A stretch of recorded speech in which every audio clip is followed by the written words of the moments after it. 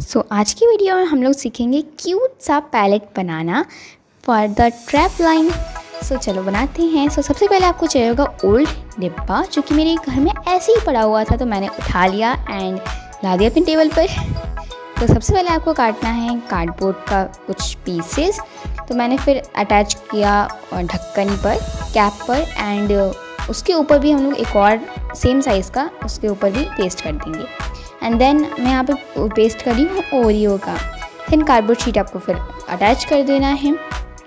आपका ऐसा होना चाहिए कि जिस पर अगर आप प्लास्टिक भी लगाओ तो वो उखड़े ना। तो वैसे ही मैंने लगाया है और ये जो आपको दिख रहा है ना, ये पुट्टी है। मैंने बहुत महीनों पहले आई डोंट नो कब, मैंने ऐसे ही छोड़ दिया था पुट्टी को इन द प्लास्टिक एंड जब मैंने देखा, अभी मैंने देखा और ये पूरा यू नो वॉट एक शेप ले लिया है उसी प्लास्टिक का। से बहुत ज़्यादा अच्छी बात होगी मेरे लिए। तो मैंने इसी को अपना पैलेट बना लिया।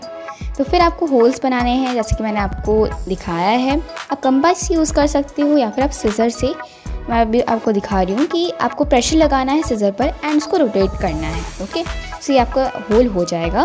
तो यहाँ पे मैं सिक्स होल्स कर रही हूँ एंड फिर आपको यहाँ पे पेस्ट कर देना है इसको। एंड फिर एक दिन के लिए पूरा छोड़ देंगे। यहाँ पे मैंने रात को रखा था छोड़ने के लिए और फिर सुबह मैंने देखा तो अच्छे से ये पेस्ट हो गया था।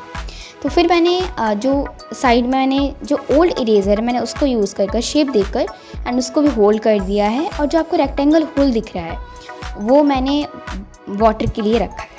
ओके सो फिर आपको एक और थिन कार्डबोर्ड शीट लेना है एंड उसको सेम साइज़ का काट देना है एंड उसके ऊपर आप पेपर चिपका पेपर पेस्ट कर सकते हो। जैसे कि मैंने किया है एंड देन उसको थोड़ा सा काट देना है शुरुआत से, और उसको भी पेस्ट कर देंगे साइड में। सो so नाउ अब आपको पेंट करना है सो लेट्स पेंट तो यहाँ पे मैं बेस के लिए यहाँ पे यूज़ कर रही हूँ वाइट एक्रेलिक कलर अगर आपके पास जैसो हो so you can apply it also but मेरे पास नहीं था सो so मैंने यूज़ किया है एक्रेलिक कलर एंड देन मैंने फिर पेंट बनाया है with the help of red and white you have to mix both colours and then you can see कि पिंक कलर बन चुका है। एंड देन आपको वो, भी अच्छे से पेंट कर देना है। So now you can see मैंने अच्छे तरीके से वाइट पेंट भी कर दिया है अंदर में एंड बहुत ज़्यादा क्यूट लग रहा है राइट देन आपको देख सकते हो किससे मैंने किया है। फिर मैंने यहाँ पे थोड़ा डेकोरेट करने के लिए आप कैसे भी अपने आप से कर सकते हो। यहाँ पे मैंने छोटा सा पैलेट बनाया है क्यूट सा। और फिर मैंने उसको डॉट डॉट से मतलब जो ब्रश है उसके पीछे से मैंने उसको हर एक कलर से उसको डॉट डॉट कर दिया है। जैसे पैलेट का शेप होता है वैसे ही। तो मैं यहाँ पे यूज़ कर रही हूँ बॉल पेन बॉर्डर देने के लिए। तो एज यू कैन सी जैसे मैं कर रही हूँ, आप वैसे ही करना।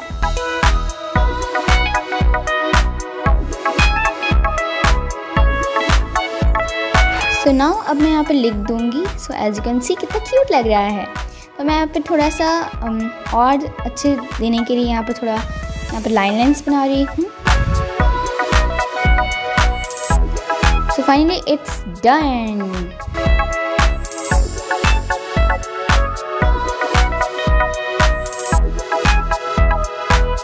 यहाँ पे मैंने अंदर भी थोड़ा लाइन ड्रॉ कर दिया है आउटलाइन सो अब मैं यहाँ पर कलर फिल करूँगी पैलेट में. सो यहाँ पर मैं यूज़ करी हूँ वाटर कलर कैमल का, क्योंकि अगर ये ड्राई भी हो गया सो कोई भी चिंता की बात नहीं है. ड्राई भी हो जाएगा तो हम लोग वाटर डालकर आराम से कर सकते हैं पेंटिंग इसलिए मैंने ये कलर लिया है. आप एक्रेलिक कलर गलती से मत डालना. या फिर वो पूरा ड्राई हो जाएगा तो वो वापस होता भी नहीं है. तो इसलिए. या फिर आप पोस्टर कलर भी डाल सकते हो, वो भी अच्छा ही होता है. अगर वो भी ड्राई हो गया तो कोई भी आप पानी डाल के कर सकते हो तो वो भी अच्छा ही होता है।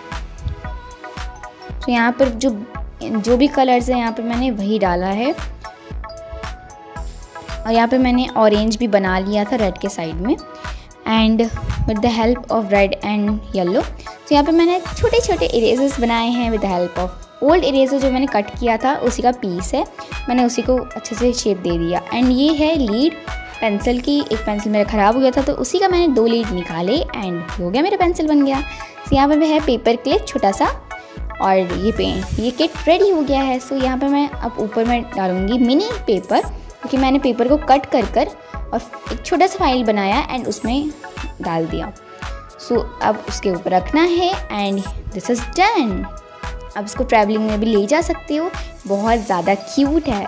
So I hope you liked it. Don't forget to like, share and subscribe to my channel for more interesting videos. Okay, bye-bye.